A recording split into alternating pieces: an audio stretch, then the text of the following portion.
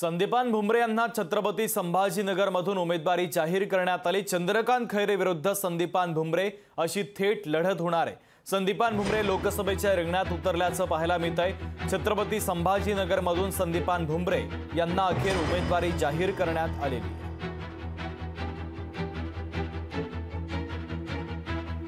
आमचे सर्व शिवसैनिक तुम्हाला सांगतो उमेदवारी जरी उशीर लागला होता पण महायुतीचा उमेदवार म्हणून सर्व महायुतीच्या पदाधिकारी हे कामाला लागले होते.